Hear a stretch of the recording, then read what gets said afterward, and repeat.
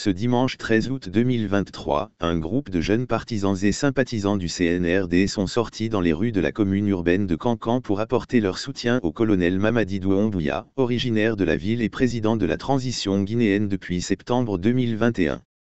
Or, il y a quelques mois, les responsables du CNRD s'étaient fendus un communiqué interdisant toute manifestation de soutien sur toute l'étendue du territoire national. C'est dans ce cadre que le ministre de la Justice et Garde des Sceaux, Charles Wright, a fait une sortie chez nos confrères de FIM FM.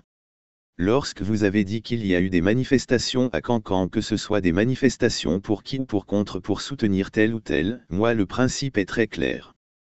Toute manifestation non autorisée sur la voie publique telle que résultant des dispositions légales des articles 561, 522, 523 et 524 fera l'objet de poursuites judiciaires. J'ai appelé le procureur général pour lui poser la seule question.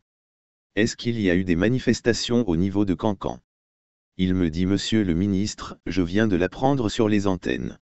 Je vais appeler le maire, je vais appeler le préfet pour que je puisse vous remonter les informations parce que dans notre politique pénale, il n'y a pas deux Guinéens, il n'y a pas deux positions diamétralement opposées. Ce n'est pas possible et ça ne sera pas possible. La conformité et l'égalité de tous devant la loi doit s'affirmer. En matière de manifestation de rue, j'en parlais la fois dernière avec certains diplomates, aux ex-ministres des droits de l'homme pourquoi en Guinée les gens ne manifestent pas? Moi la question je l'ai dit, c'est très simple. J'ai dit au procureur que est-ce il est établi il faut faire la part des choses, il y a ce qu'on appelle la réunion publique, il y a ce qu'on appelle les cortèges et les marches.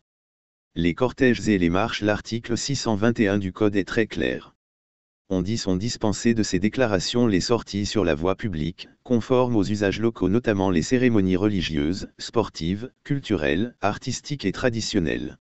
Si ce n'est pas dans ce cadre-là, pas de manifestation de soutien au président de la République. Il n'est pas là pour ça, mais si c'est le cas, ma main sur le cœur, si les faits sont établis, j'ai dit au procureur, je l'ai instruit d'engager des poursuites judiciaires contre les organisateurs et toute personne liée à ça. Nous ne sommes pas des politiques.